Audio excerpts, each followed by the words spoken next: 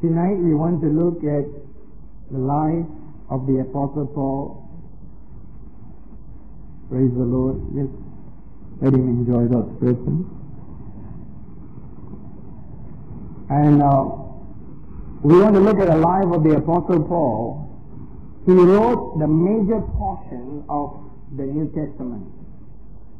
And I believe if anyone is called to the ministry, and even those who are not called to the ministry, but in the ministry in some way, it would do us good to study especially the life of Jesus and his ministry, his method, and his pattern, as well as the pattern of Paul and how he moved about in his ministry. In Paul's life, we could outline it into five major phases of ministry. When God called every person, there is a phase in the ministry that we go through. I remember when the Lord appeared to Kenneth Hagin in the first vision he records in I believe in vision, how after about 15 years or so in the ministry, the Lord appeared to him and said that he was about to enter the first phase of his ministry. See, God divides our ministry and our call and our vocational work into different phases. God has His will in our lives. And we need to understand how each phase flows because if we could do the right thing but in a wrong phase, we would still be in disobedience. And we have to obey God and understand where we are in the phases of our ministry. Everyone has a phase which God has predetermined in our lives. Let's look in our Bibles in the book of Galatians chapter 1. Galatians chapter 1. And uh, we see in Galatians chapter 1, Paul making a statement about God's call over his life in verse 15. Says here, but when it pleased God who separated me from my mother's womb and called me through his grace to reveal his son in me that I might preach him among the Gentiles. I did not immediately confer with flesh and blood. The main part is verse 15 that we want to consider. Paul says that even while he was in his mother's womb, there was a definite call that God has placed on his life. Sounds very much like Jeremiah the prophet. When God calls us, it was sometimes even before we knew Him. And somehow all through His life as a child, as a teenager, and as an adult, Paul sensed that divine destiny that seemed to draw his entire life in a certain direction. Even when he was an adult, not having the knowledge of God, or the revelation of God, he sought to please God in his own way. Before he was born again had a, and had a special encounter that we read about in Acts 9, Paul really wanted to serve God. And by a wonderful turn of events, he was brought up at the feet of Gamaliel, training under one of the best Bible scholars you could find in Jewish traditions in those days. And as he grew up, there was something in Paul that drew him into the divine destiny. And somehow he had a drawing to God. If you hear people who are called, you will I'm sure you remember how Hagin sometimes said uh, how he, the preach was always in him, even when he was a young boy. And the preach is always there, that draws the divine destiny. And Paul, even though he has not known God yet, had that preach in him, except he has not known God yet. He was brought up in a religious realm, and we know the famous story which you can pick off from that how he was one of the top persecutors of Christians. Why did he do it? He tells us in the book of Acts, Look at the book of Acts. And it gives us a clue as to his motivation. Sometimes when we look at the Apostle Paul in the early days of his life, some of us, if some Christians had met Paul, or if there was an actual Paul around today, excuse me, oh, I'm not talking about you, likened to the Apostle Paul, and he was Saul before he was Paul. If he was around persecuting Christians, a lot of Christians would be praying Elijah's famous prayer. Lord, send fire, but not in the right way to annoy. Burn it up. Judge him, O Lord. And we sometimes see people on the outside, we don't see their heart But somehow inside Paul's heart, he thought he was serving God. Although he looked like a cruel person on the outside, inside, while he was doing all those things you read about in Acts 9, persecuting Christians, putting them in prison, killing some of them, and he was there when Stephen was stoned. In his heart, he reveals to us in his testimony here in Acts chapter 22. Verse 3, he says, I'm indeed a Jew, born in Tarsus of Cilicia, but brought up in this, in this city, that is Jerusalem, at the feet of Gamaliel, taught according to the strictness of our father's law, and was, notice, zealous toward God as you all are. He says, I, I was zealous for God. Now that gives us a clue. When he was doing all those things, chasing the Christians, looking out for them, taking them and putting them in prison, getting letters from the Sanhedrin Council to persecute them, he thought he was serving God. The preach was in him, but the preach was pitched wrongly. He was serving the devil without realizing it. See, in his mind, in his thinking, he viewed Christians as fanatics and an extreme group that was destroying what he thought the right religion, Judaism. And so he did everything he can to destroy those Christians, thinking that that was what God wanted to do too. That was his heart. So when God manifested in his life, both which we could believe was the result of prayer as well as because of his heart. God saw in his heart the blindness, the unbelief that was there. And so God manifested to Paul in that famous story in Acts 9 and changed him over. See, it's not like what some people think that he had malice in his heart. Some people are right in their heart but wrong in their message. God sees that. Now that's inexcusable too. And, and you will pay the consequences of that. And yet God, through people's prayers like Stephen, could deal and come and intervene in a of events. I do not believe that the supernatural signs and wonders or manifestations is a result of accident. I believe God is an orderly God. Whenever God moves, there has been a systematic application of prayer and intercession. And so there was this intercession that has gone before. Every time the Christians are persecuted, they turn to God in prayer. Praise the Lord. Lord, give him there. And I'm going to stand over here. And uh, as God manifested to Paul, remember this, whether Paul was serving the devil or he was serving God or serving his own idea or serving his own tradition, there's one thing that you could begin to see. This is even before he entered the first phase.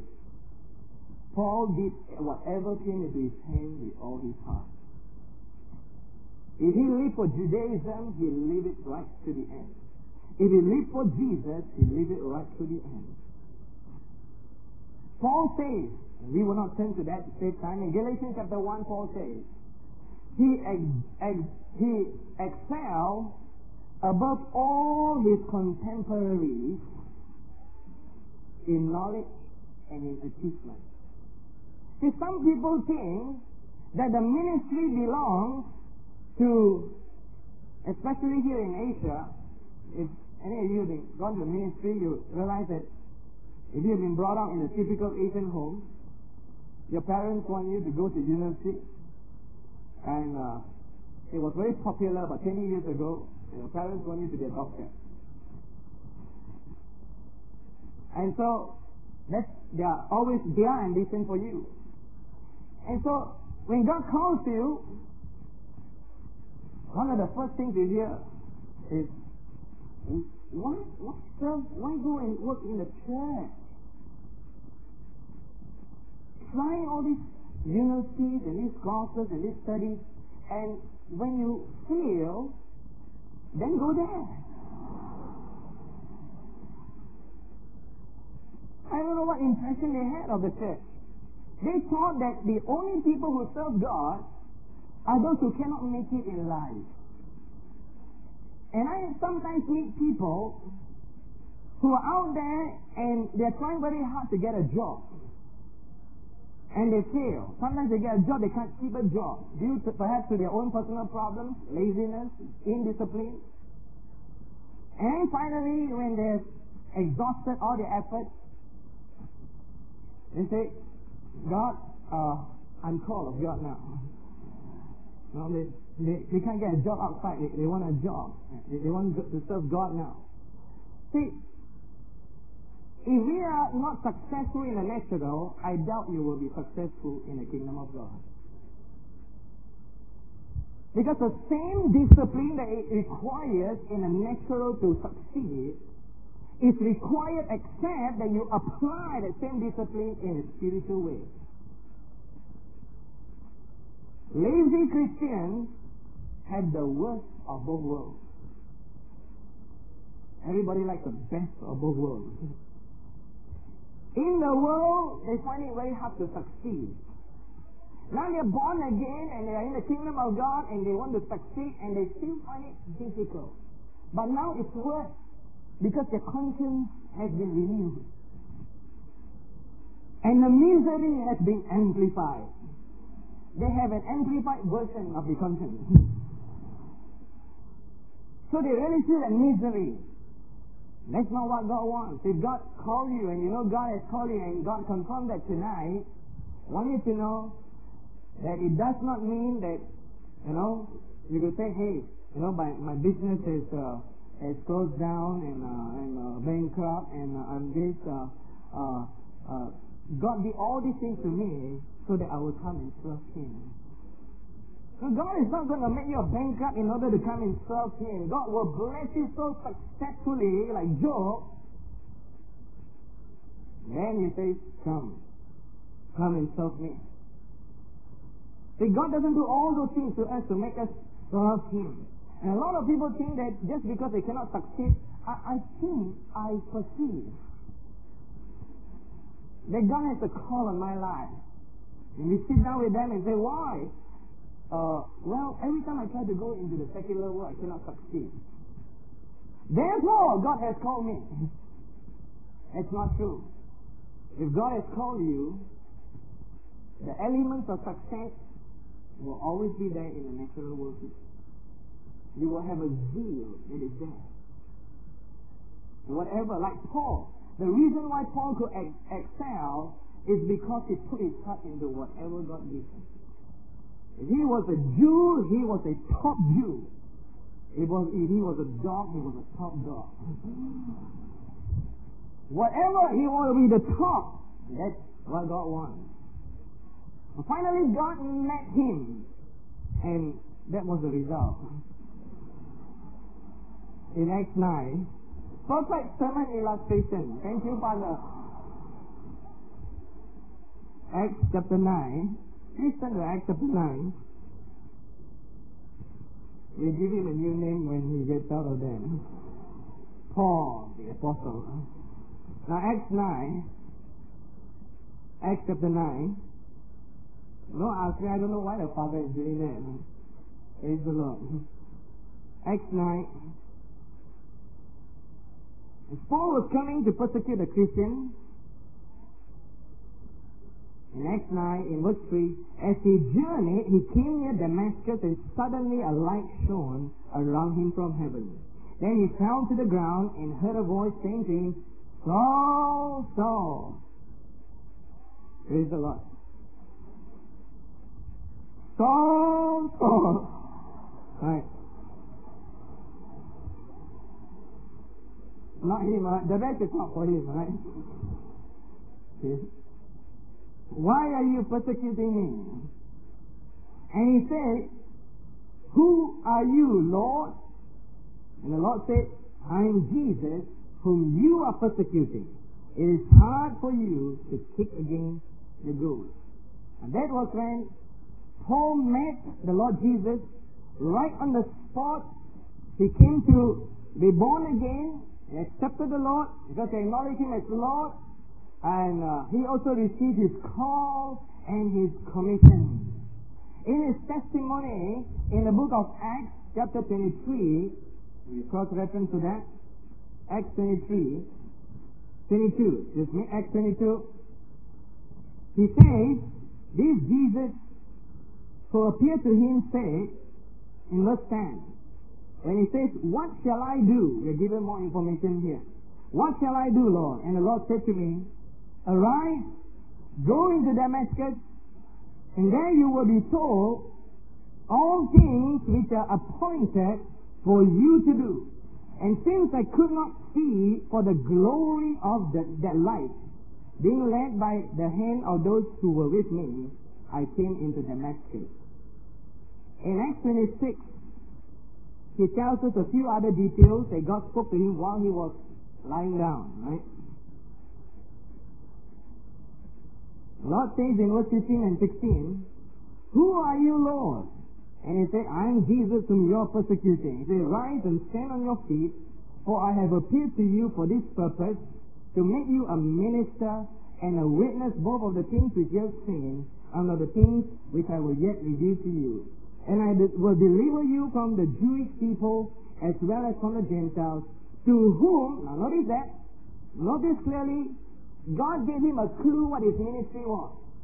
To whom I now send you. In other words, he was commissioning Paul to the Gentiles. Say, I will deliver you from the Jews and from the, from the Gentiles, to whom I now send you. So bless God, Paul had a call on his life. And many people, when they heard God's call, they thought the call was to go. Never. He's, when he calls you, he always says, come. Three years later, the disciples were given the word, go! And so some people, when they receive a call from God, they don't know the word come and the word go. You can't differentiate. Lord says come, they go that way. And when the Lord says go, by that time they don't go. They say yes, Lord. And when God calls us, it doesn't mean it's time to quit our job. But a lot of people think that God called me, quit the job, and there they are, unemployed God's kingdom. When God calls us, it's to prepare ourselves right where we are. Whatever way, whatever it takes. So Paul received a call, and the prick came out of him. And like all young people, or if God calls you, excuse me, if you're elderly and God, God still can call you. In Acts 9, one of the things that people do when God calls them is they want to minister. Bless God, where is the, the pulpit, Lord? God, where's the country you send me to, Lord? Where's my church, Lord? Where is my crystal cathedral? Poor Robert Schuller disturbed by us all throughout this convention. I'm holding his Bible. In the book of Acts, chapter 9, when he had hands laid on him by Ananias, filled with the Holy Ghost, it says in verse 20, Immediately, I tell you, he was a born preacher. He had a preach in him. He wanted to preach. And um, immediately, he preached the Christ in the synagogue. That he is the Son of God. And everybody was amazed. And he preached about Jesus from all his all that he had experienced God, from his vast knowledge. He preached Christ, and he preached Christ, and there were no Amen. Everybody stared like just looking. And the more he preached, the more they stared. Now, if that ever happens to you, you have to examine God's call in your life. he reached the point when they slowly their stare changed to a grunt. Paul is wondering, thank you for that amen. That was no amen. They were about to bite him. And they were determined to kill him in verse 23. He didn't last many days. His ministry lasted a few days. After many days were passed, the Jews plotted to kill him. When the plot was known, they took hold of Paul, put him in a basket, and slowly let him down. God's man of power for the hour going down in a basket.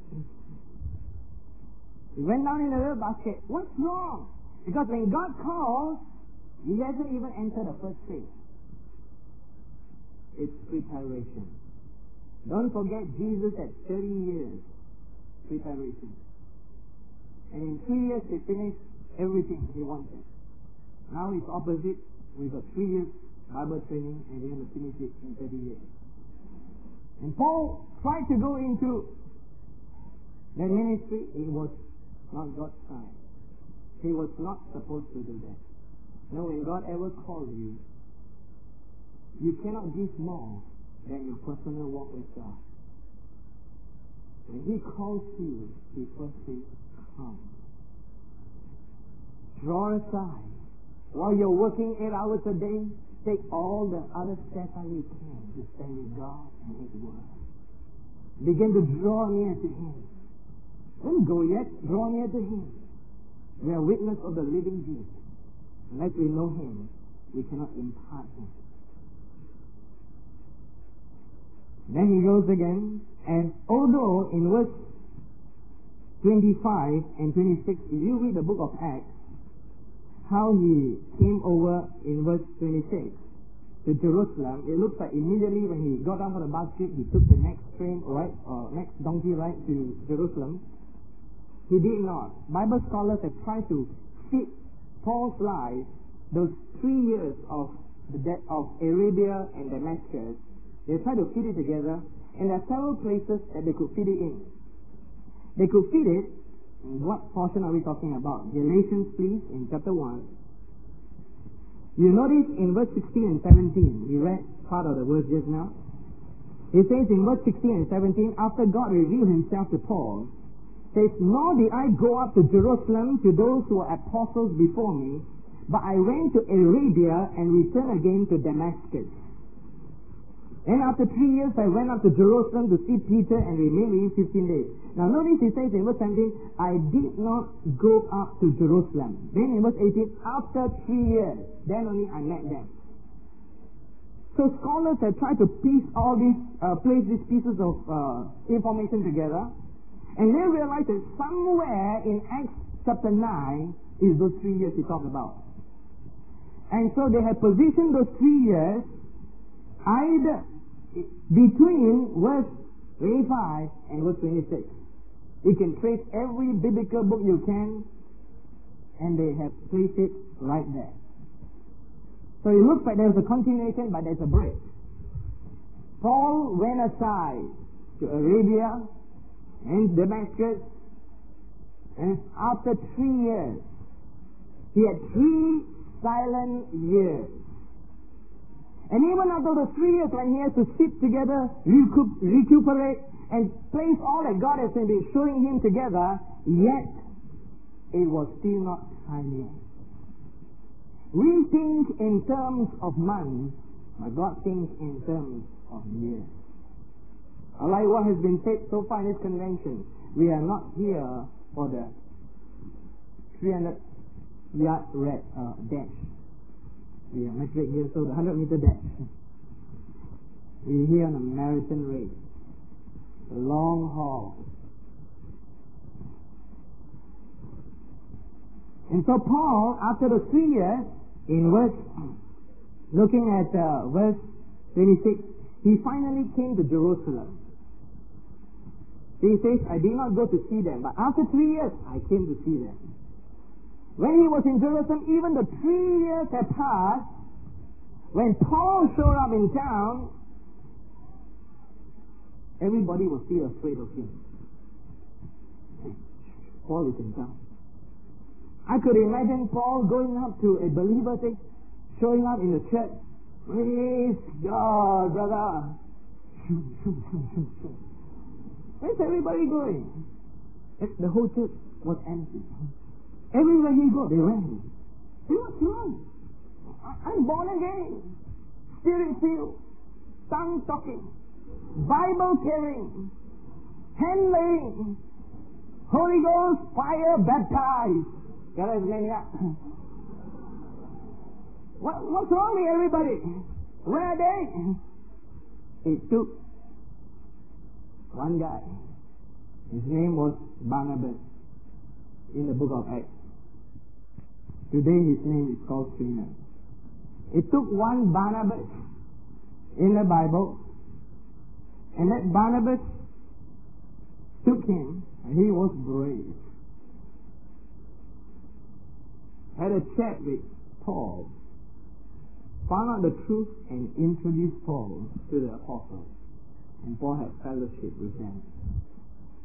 From then onwards, he had taught Paul, had said, Praise God, right hand of fellowship. Ministry recognized. Bless God, I am recognized now. The preach was still coming out.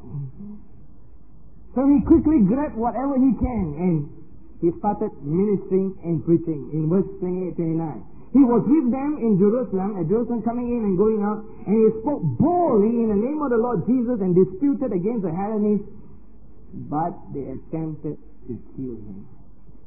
Something is wrong here.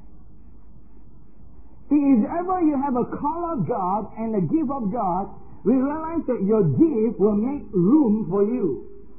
You don't have to bribe, you don't have to push. You don't have to tear down doors. I hear some people teach, you know, if the door is closed, tear it down. I don't know from what Bible school they graduate. no, if the door is closed, go to another place. Don't tear it down. Even Paul the apostle in the book Colossians asked them to pray for an open door. He didn't say tear down the door. Because it may be the wrong door. So somehow, even though he had that call and he was called to be an apostle, there were no open doors. Apostle of what? Nothing yet. Somehow he was, he couldn't make, break away in his ministry. Struggling. Everywhere he go, people wanted to kill him. In the end, the apostles make a decision. Let's send Paul back to his hometown. Tarsus was his hometown. You find that in verse 30. Balik kampung, Paul. Who wants to balik kampung? Paul says, go back home. And for the next seven years, you never hear of him again. In fact, for the next six years, approximately, altogether, plus the three years, would have been nine years. Paul had the preach in him, but the preach, which was a low pitch, was not right yet. He suffered. God was waiting and waiting. And during those years, Paul must have studied, read, prayed, studied, read, prayed. And I reckon he never tried to knock down any more doors. In any door he tried to knock down, they want to knock him down too. He waited on God. See, if you don't learn to, one of the first lessons God teaches you is wait. Wait. See, God, God, when, when is the time? Wait. God, I'm ready now. I have just got my certificate, my diploma, my degree, my master's, my PhD. Lord, I'm ready. God looks over at Gabriel and says, could you please tell him to wait? Gabriel comes down, blows a trumpet. Wait.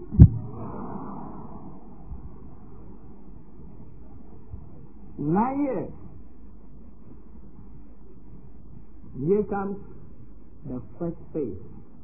It was a very short, quick first phase. It started in the heart of Barnabas. In Acts 11, you see a Paul. See, the historical record tells us from the book of Acts chapter 9 to the book of Acts 11 is a period of about 9 years. By Acts 13, it was about 10 years. So we roughly know the chronological period. Acts 9 was about AD 35. Acts 13 was about AD 45. You minus the one year period when they were in Antioch, you bring it to Acts 11, which would be about nine years in Paul's life. So in the nine silent years, in Acts 11, there was Barnabas. In verse 22, then news of these things came to the ears of the church in Jerusalem, and they sent out Barnabas to go as far as Antioch. When he came and had seen the grace of God, he was glad and encouraged them all that with purpose of heart they should continue with the Lord. For he was a good man, full of the Holy Ghost, Holy Spirit, and of faith. Tell you, he, he was a faith man. And a great many people were added to the Lord. Then verse 25 is a beautiful word. Then Barnabas departed for Tarsus to seek Saul. He looked so timid, so quiet. You would have thought that the Apostle Paul, who had seen the glory of God, fell flat on his on the ground. Such a dramatic conversion and call that the rest of his life there was also a lot of drama. But no, some of the greatest things in the spirit come so naturally. The beginning of his first phase came because Barnabas, whom he had befriended, remembered him. You never know who you come to know in your fellowship with. Some of you in this convention meet some people for the first time. But you never know how your lives become tied up in destiny together. Never underestimate or despise the day of small things. That small little acquaintance that Paul made with Barnabas, so insecure, so, so obscure and insignificant, became the very key to his first faith. And what was his first phase about? His first phase is what Daniel, uh, Daniel Burke has been preaching about as first mentor. Discipline and obedience. You learn to work with people. You learn to make friends. You learn to submit. You learn to sit under authority.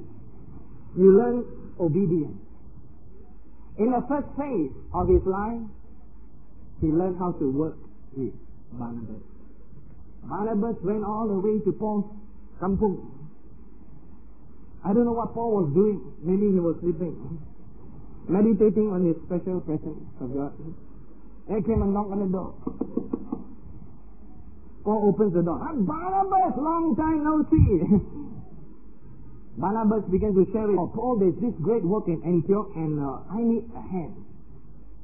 And uh, I, need, I need you to come along and help me. Paul this? well, um, uh, let me pray about that. Yes, all right, that's all right, Well, Pray about that and, and, and come along. And I sense God told me to bring along. Come along, come along. And just such a small, insignificant event of a friendship, somebody calling another to help him. You never know the ways of God. But that was the most important event of Paul's life. One man, Barnabas, was an important key. And through Barnabas, Paul's ministry began. For the first time, he was able to teach and teach. And that's in Acts 11, verse 26. When he found him, he brought him to Antioch. So it was that for a whole year, they assembled the church and they taught a great many people. And the disciples were first called Christians in Antioch. So Paul started just teaching the word, just giving some Bible studies here and there. Some people are called to be prophets, apostles, evangelists, and they want to start straight away. I believe God called me to minister to the 10,000. Now, start with the two and three. You're faithful with the two and three. So he just started ministering, teaching the word to two and three, teaching to the church there, working along with Barnabas, and learning to work with other leaders. You say, is that important? It's vitally important. If you have a gift without a relationship, you will not be accepted. No matter how fantastic you are as a prophet, as an evangelist, if you do not know how to relate to people, all doors will close. They may hear you once, after that they don't want you anymore.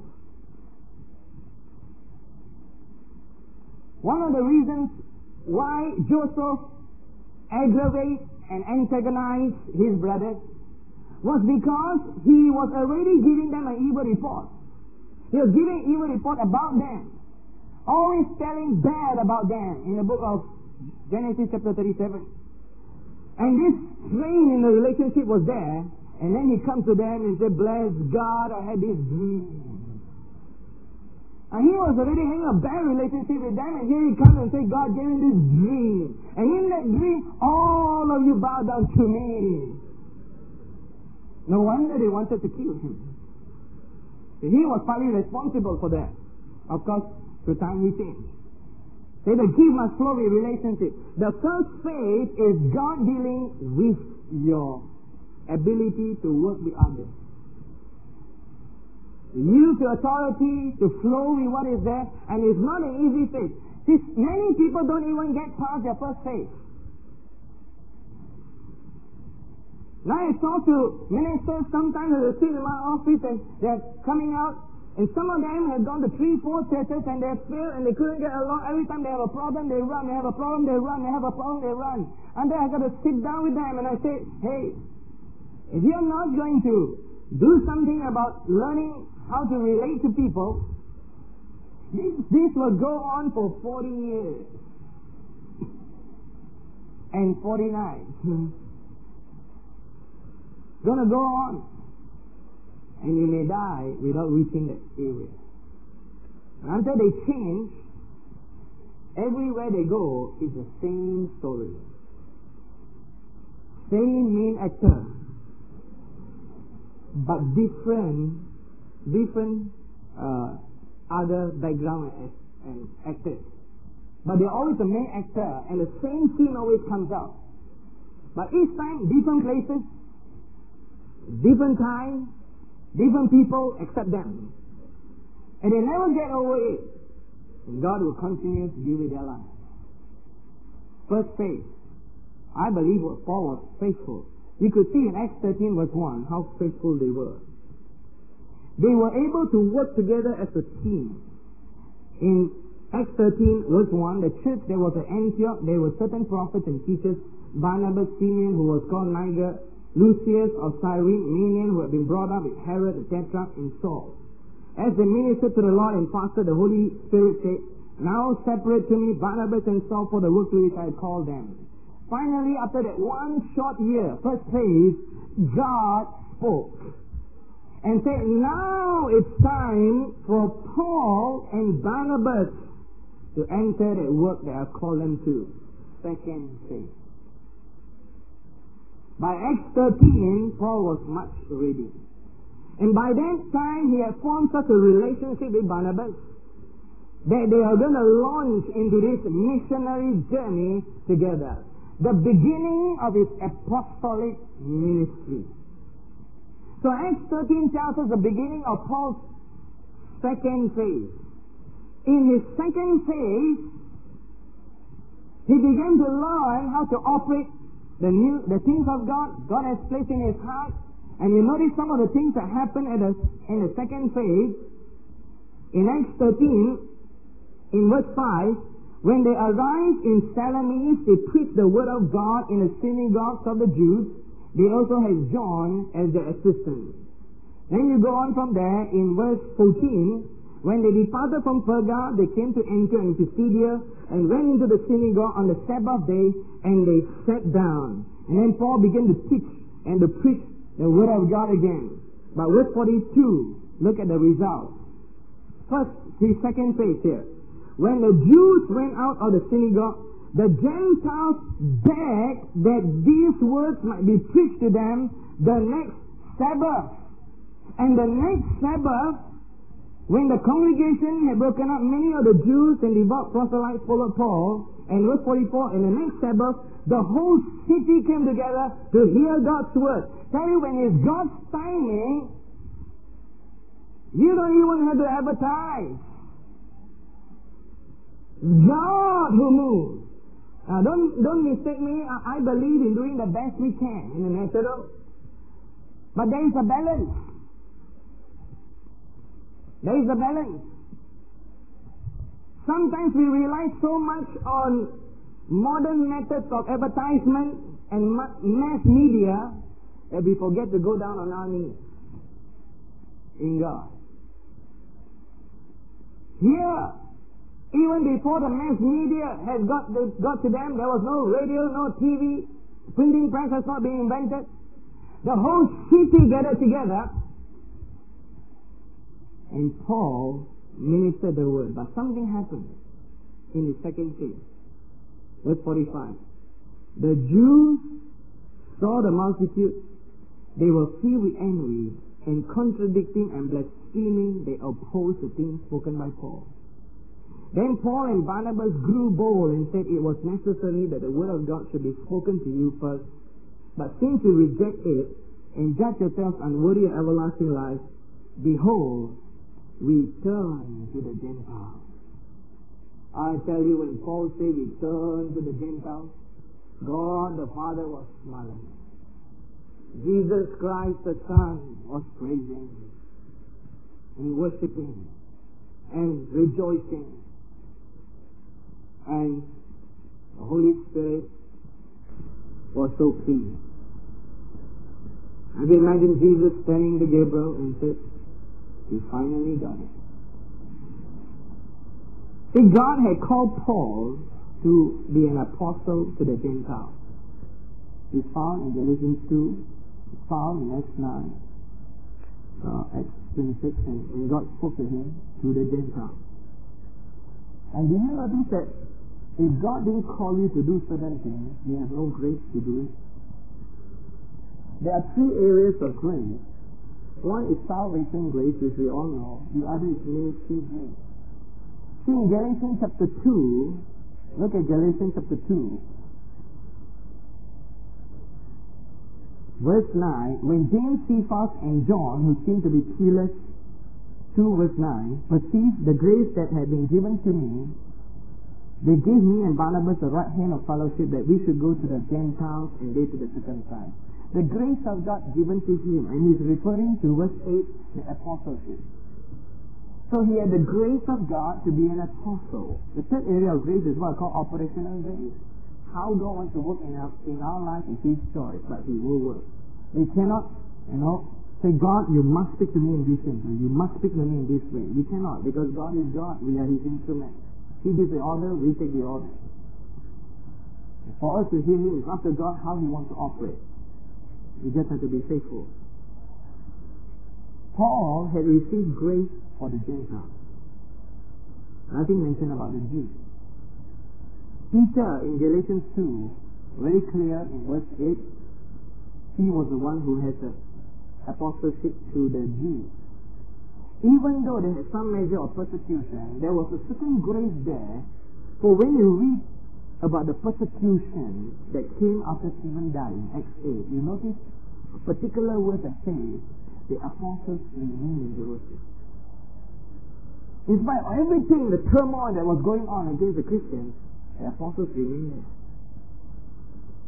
In case you missed that verse, Acts 8, look at Acts 8 very carefully.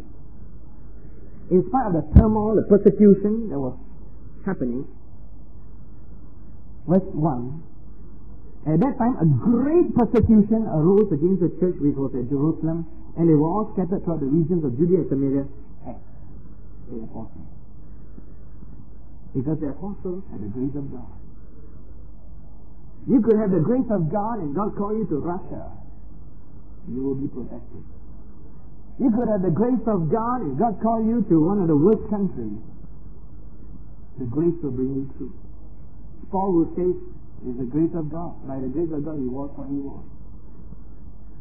See, Paul did not have the grace towards the Jews as he had towards the Gentiles. And so in Acts chapter 13, when he finally has concluded, he's like some of us new in the ministry. As you're launching out, you're still trying to find your place in the ministry. Where is the place that God has placed you in? Your second thing. You've been faithful, and now God established you. You have some, some sort of control or authority in your own ministry. And then you are, you're finding your place in the ministry that God has placed you. And somehow you succeed and you're launched for. The Holy Spirit has said, separate me, Paul and Barnabas. Perhaps in a different way. Separate me, Tana Kau and Tana You know? For the ministry that I have for them. Oh, you launch out, you started your own church, you started your own ministry, you started your own evangelistic association, or something like that. And then you launch out with great zest for God.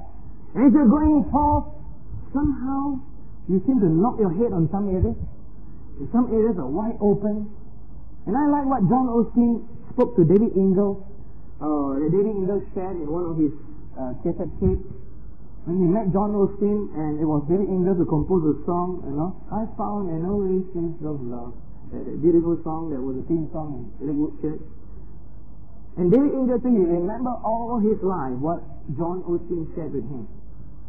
He says, David, go where you have favor. In a sense, we could rephrase it in a in the way that we're understanding tonight. Go where the grace of God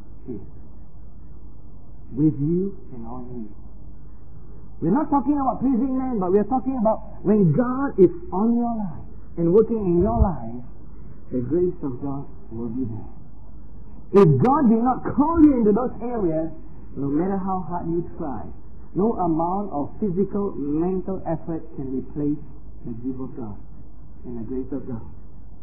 You will die. You cannot survive. So when Paul finally in Acts 13 says in verse 46, it was necessary that the word of God should be spoken to you first, but since you reject it and judge yourselves unworthy of everlasting life, behold, we turn to the Gentiles. I tell you, when he says we turn to the Gentiles, the thunders roll, the lightning flash, angels sang, the trumpets blew.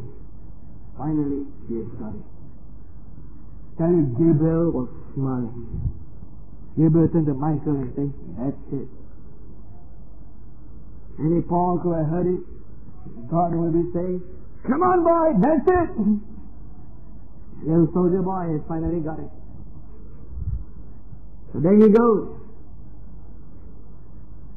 And do you notice in his first uh, in his first missionary journey, which is his second phase, that all the persecution he received was from the Jews?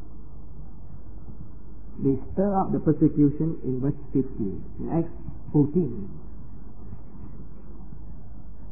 There they were again, They stir up the persecution. God did a wonderful miracle. Then in Acts chapter 14 verse 19. The Jews from Antioch and Iconium came there, having persuaded the multitude, they stoned Paul and dragged him out of the city, supposing him to be dead. However, when the disciples gathered around him, he rose up and went into the city. And the next day, he departed with, with Barnabas to Derbe. In his second phase, he received one of the experiences that none of us here, I presume, have ever gone through. Being stoned Some believe that he's doing this time and he received some of his experiences from God, but we can't prove that. We do know, in the midst of all this suffering that he had, somehow they made it with the grace of God. In spite of all the persecution and opposition.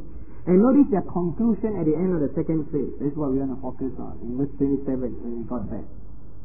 When they had come and gathered the church together, they reported all that God had done with them and that He had opened the door of faith to the Gentiles. That was the right conclusion. God has sent the apostle to the Gentiles and not to the Jews. That was where the blessing of God was. So in his second phase, he learned his position in the ministry his position in the meeting. In his first phase, he has to put himself under another ministry. In his second phase, he began to find his position and faith. God's blessing was there. See, all of us will go to different phases. It took me nearly about seven years in the ministry before I found out what God actually wanted me to do. The indications of it were there all the time, but it was a long time to find out. Partly, I believe because I was not watching and looking at where the grace of God was moving in my life. Why? Because every time we enter the ministry, we enter with preset ideas. Concepts that is given to us sometimes not from Him, but from man or from tradition. And it takes us a long time to get rid of all those wrong things. And it's in the second phase that Paul began to discover and streamline what God has placed. And what exactly took place in the second phase? See, first of all, he discovered that it is, it is God's grace for him to go to the Gentiles. There's a tremendous conclusion in that. Secondly, it established their apostleship. What God called him to do, he was established in. So in your second phase, when God begins to speak to your life, if you're an evangelist, you begin to be established as an evangelist. You begin to see the results. If you're called to be a prophet, you'll be established. If you're called to be a pastor, you'll be established in that area. There'll be some results. There is a difference between human effort and spirit work. Say, what's the difference? Results. No, no amount of human effort will get a result that only God's Spirit can bring. Acts 15, the ending, begins his third phase. It was a painful and a difficult phase. There's a time and place when a change takes place in a ministry. In Acts 15, in verse 36, some days, after some days, Paul said to Barnabas, let us now go back and visit our brethren in every city where we have preached the word of the Lord and see how they are doing. Now notice here, Paul, although he knew the supernatural, he didn't depend on the, uh, on the supernatural, spectacular things. We realize that the supernatural can be quite natural sometimes. Let's differentiate between the, the spectacular and the natural looking supernatural. Speaking in tongues sounds very natural, but it's supernatural. It may not be that spectacular. And here Paul didn't look for the spectacular. In Acts chapter 13, when he began his second phase, it was spectacular.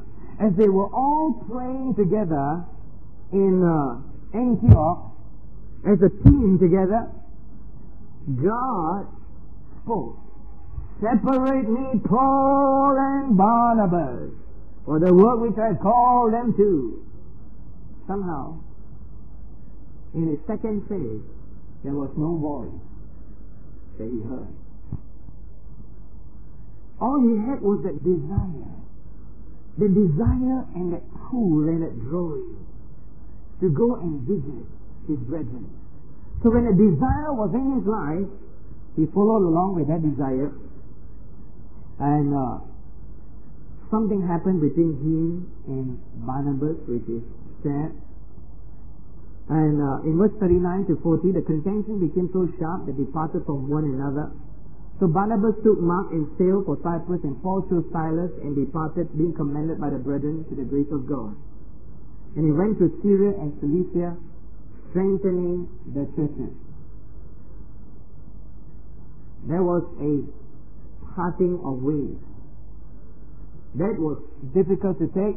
And as we look at it, we realize it could be naturally caused.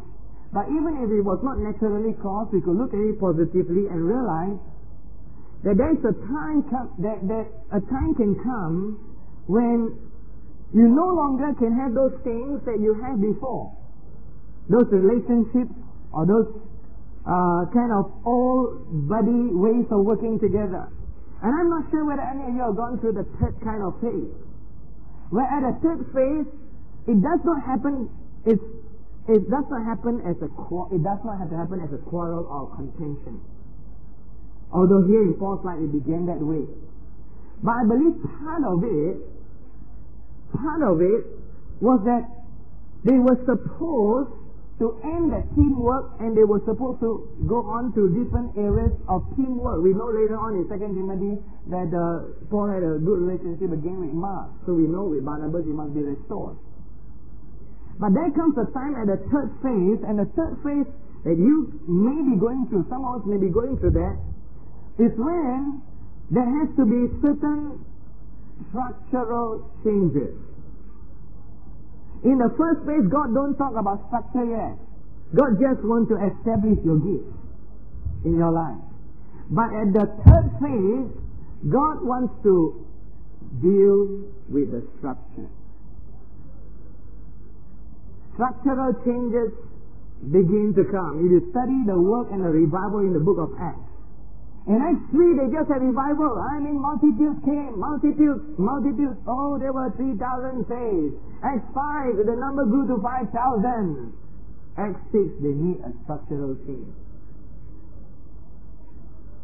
See, at the beginning, they were just a blessing of God. There was just an outpouring, the gift of God coming. And a lot of people haven't entered the first phase. Some enter the first phase. They are starting to work with another, but some are too impatient, so before God finishes the first phase, they phase out themselves.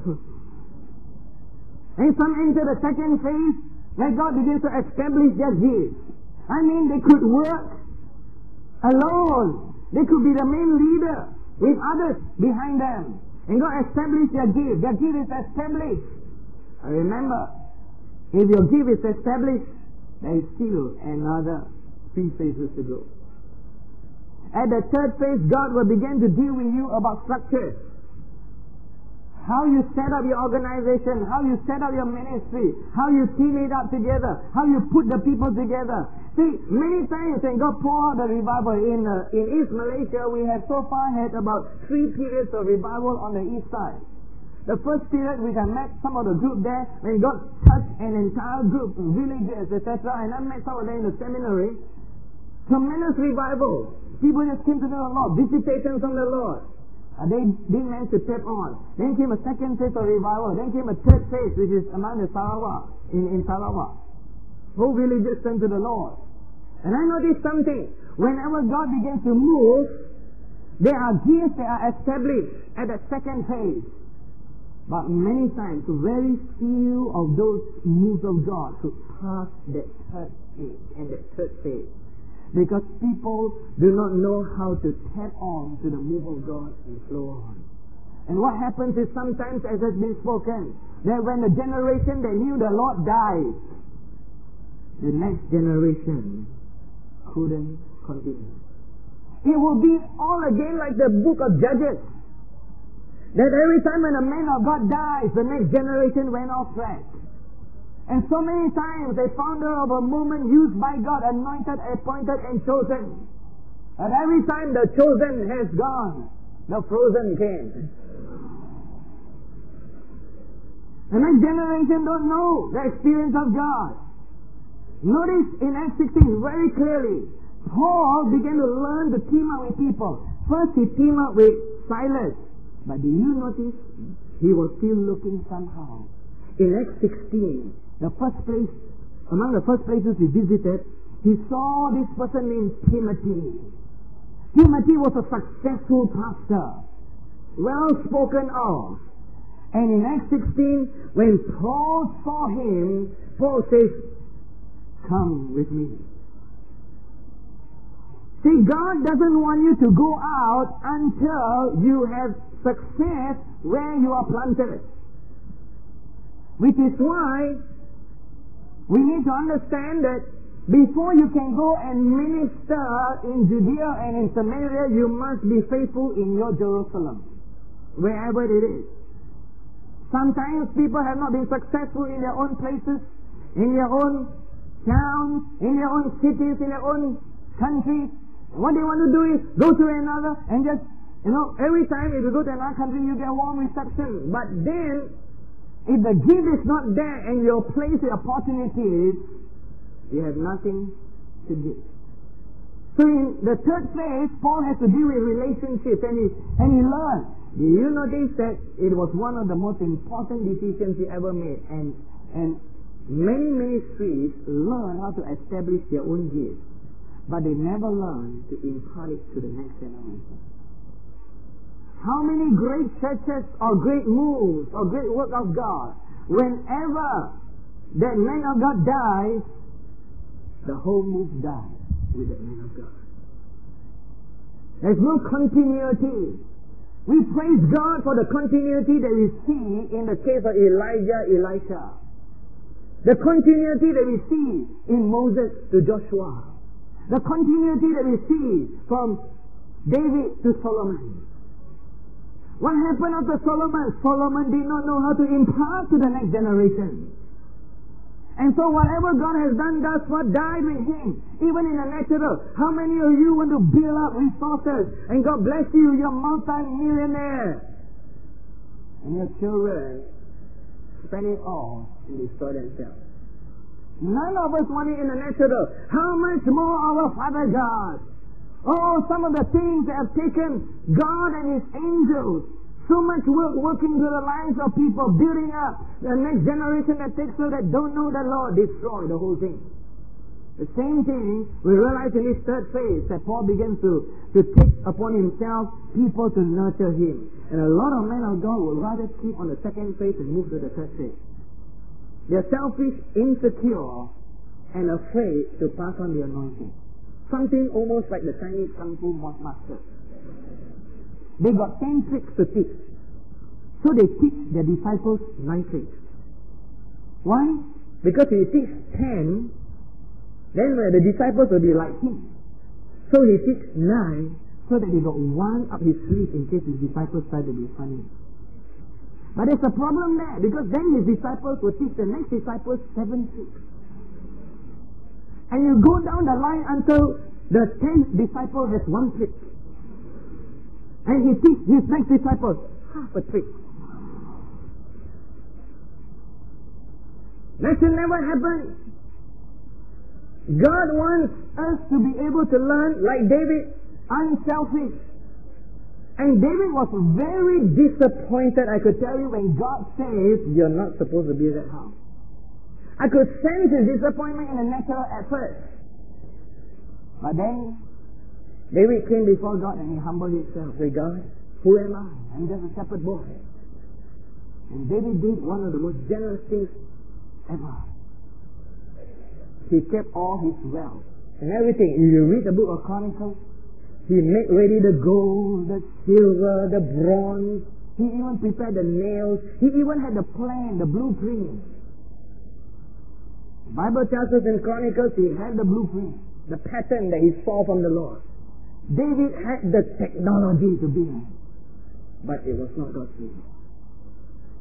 The only thing holding David back was the will of God. And that's the third phase. We need to understand where our limits are. If you have ever had people work together with you in a ministry, you will notice this. That when they are new with you, could have a group that are highly effective. But the highly effective sometimes tend to take too much on themselves. Then the other group that are ineffective, they always need you to be there. And uh, they are half as effective. I'm talking about the highly effective one. The highly effective one can have a problem. They poke their nose into everything. After some time, they think they can do it better than you. And they did not learn the limit of their anointing. Sometimes like Korah, they reach a point. Or like Aaron and Miriam. Reach a point and say, Who is Moses? We can too. Moses can do it, so can we. What difference is there? They reach a certain point. But yet, but yet, our call in the third phase is to be able to impart to those who are faithful and to effectively pass it on. Only takes a spark to get a fire going. And that's the third phase. And I say that a lot of ministries are so busy on the second phase that they have no intention, no plans, no goals, no vision for the next generation. We must be different in our generation we must impart and prepare the next. The Pauls must get the Timothy. And in Acts 16, in this third phase, while he's busy about these new things, uh, about this new teamwork that God has given to him, you notice that Paul always followed a pattern wherever he went. In Acts 16, God broadened his ministry. If you read in his second missionary journey, he goes to a bigger area. He goes to a new area, Philippi, after the Macedonian call. And then in uh, Acts 17, verse 1, in verse 2, as they continue onwards, when they had passed through Amphipolis and Apollonia, they came to Thessalonica, where there was a synagogue of the Jews. Then Paul, as his custom was, went into them for three Sabbaths reasoned with them. Do you notice in verse 2 it says, as his custom was? It did not say the law asked him to do it. And it's these same Jews that are going to cause him problems later. Paul kept the pattern of ministering continually to the Jews and in verse 10, because of the persecution of the Jews, the brethren immediately sent Paul and Silas away by night to Berea, and they continued to minister in the synagogue from place to place wherever Paul went. Acts 18, he still went on to the synagogue. In uh, verse 4, he reasoned in the synagogue every Sabbath and persuaded both Jews and Greeks when Silas and Timothy had come from Macedonia Paul was constrained by the Spirit and testified to the Jews that Jesus is the Christ. They opposed him. And look at what Paul says in verse 6. He says, When they opposed him and blasphemed, he shook his garments and said to them, Your blood be upon your own head. I'm clean. Notice what he says. From now on, I will go to the Gentiles.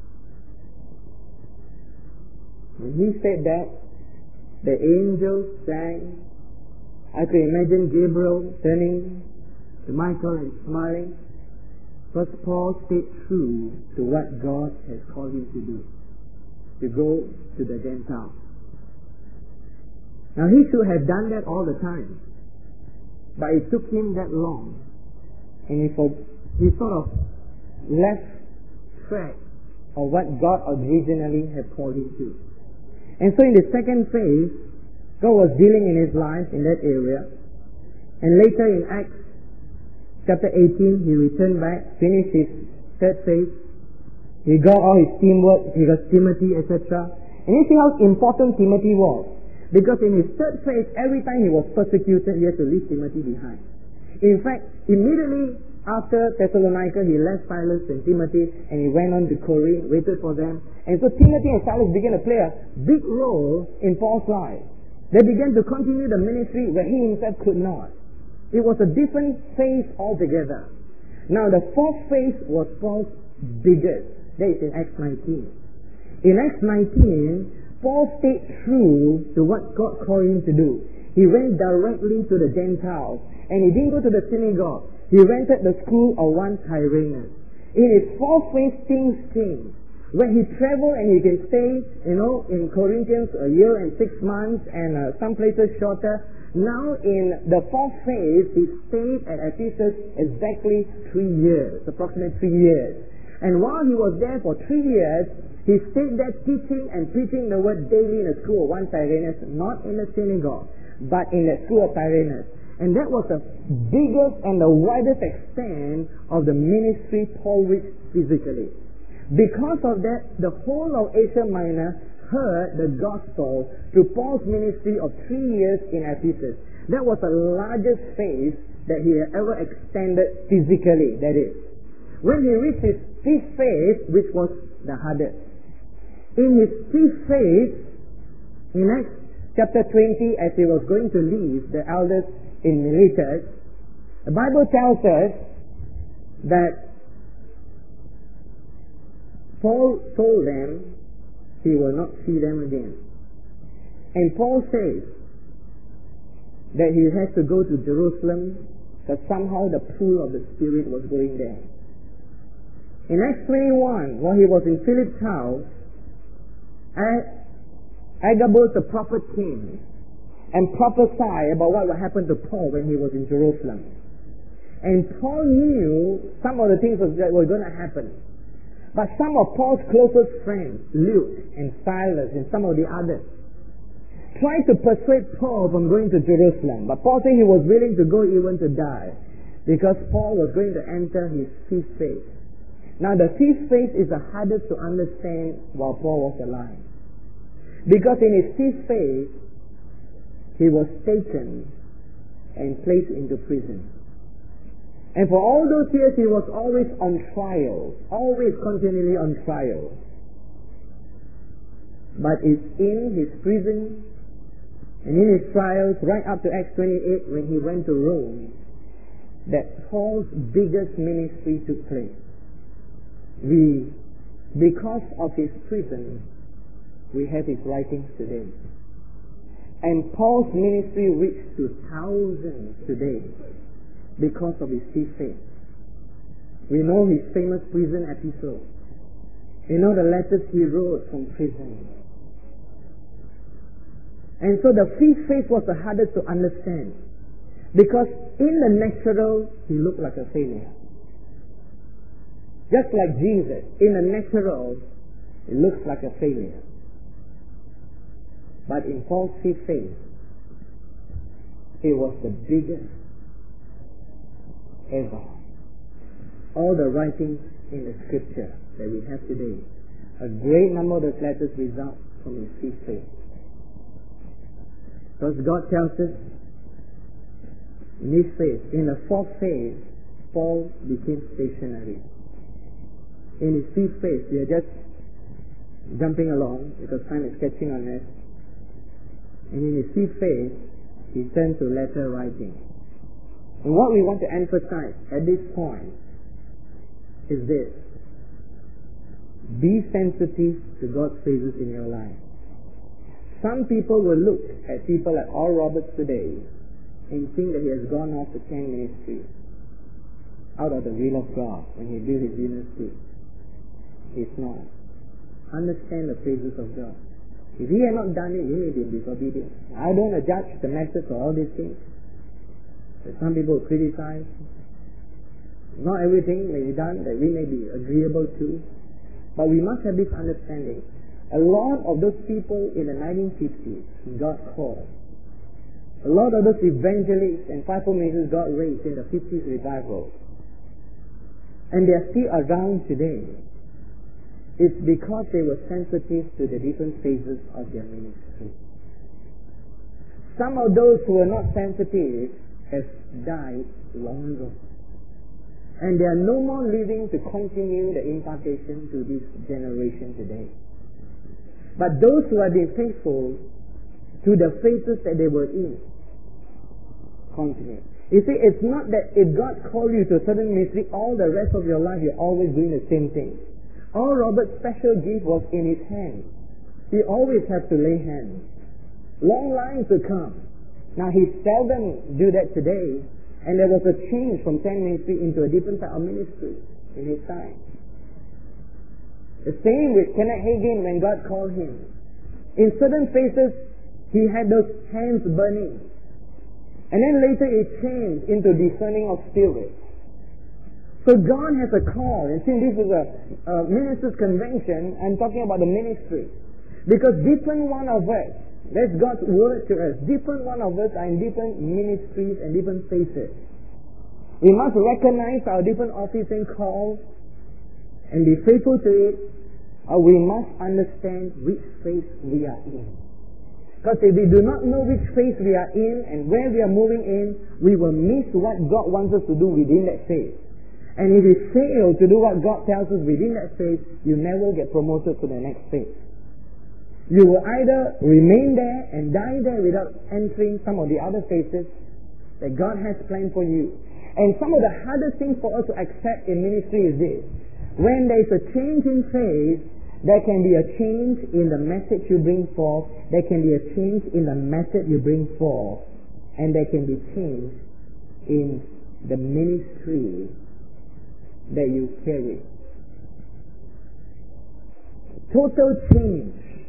That's one of the hardest things because we human beings are locked to one method all the time.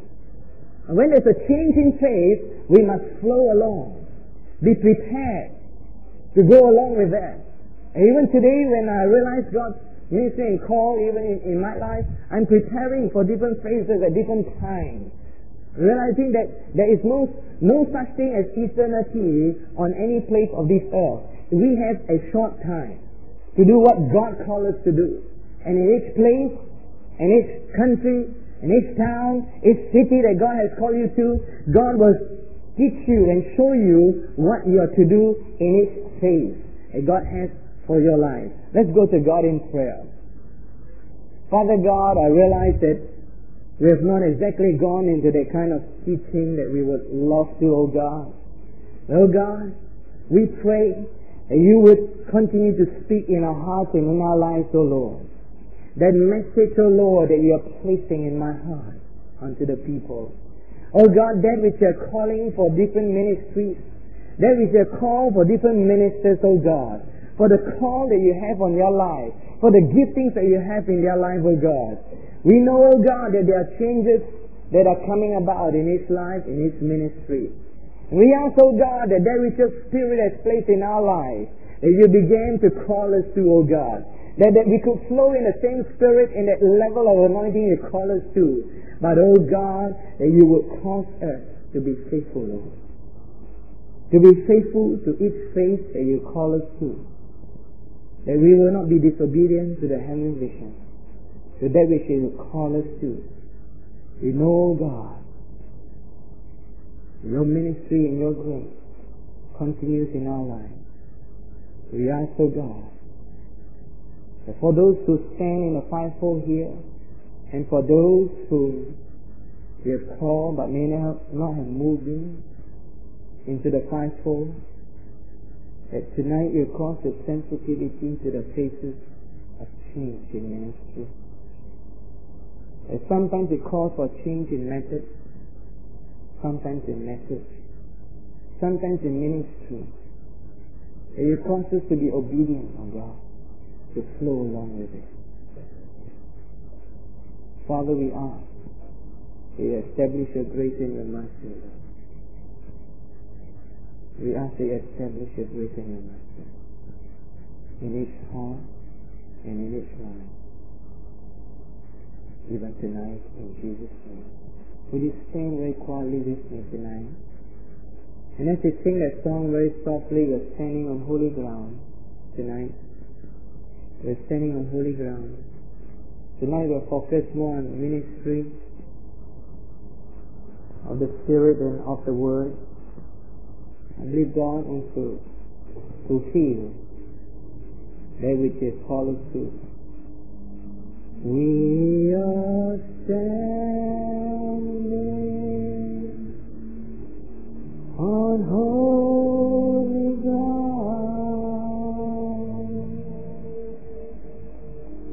and I know. Now tonight, we're not speaking to each one of us specifically who are really established in some way in the ministry. But we're calling for those of you who are, especially in the Asian region, God has called you to the fivefold ministry in Asia. There is a stirring that is coming up in Asia. God is raising up fivefold ministries something likened to the fivefold ministries in the decade of the 50s in the healing revival. In hundreds and thousands of ministries just burst forth. Something is happening that's budding forth in Asia. But unless and unless we learn from the mistakes of the past, the same kind of errors and mistakes are going to happen. God wants to prevent that from happening. If tonight God has called you to minister in an area in Asia, you could be an established ministry. You stand in one of the fivefold. And you know that in this conference, especially God has, by His destiny, brought you here. So I'm not speaking to everyone who's in the fivefold, but some who are in the fivefold. You came here with the expectation to receive an impartation. Tonight, and I want to, I want to invite all those guest uh, speakers in this convention to also minister together in this. There are some changes in your faces that are taking place, even in your churches, in your respective areas and ministry. And tonight, God wants to minister to your life and cause an impartation to take place. So that the giftings of God that His place in your life can go forth. So you know your call in one of those areas or several, apostle, prophet, evangelist, pastor, teacher. You know that your call, especially in the Asian region, we want you tonight, come right up, just stand on the second line there. And I want to invite those guest speakers in this convention to pray an impartation for these Asian fivefold ministries that are coming forth.